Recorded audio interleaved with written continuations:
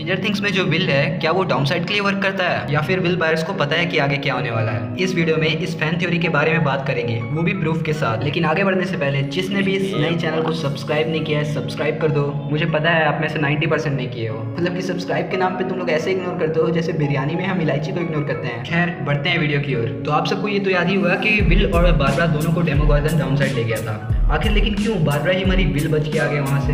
यहाँ तक कि बिल जब आया तो उसे अजीब गरीब चीज़ें भी दिखती थी। और क्यों? विल को ही माइंड फ्लेयर के आने का एहसास हो जाता था। और सीज़न फोर के लास्ट एपिसोड में क्यों विल ने कहा कि वो मतलब कि वेकना इतनी जल्दी हार नहीं मानेगा?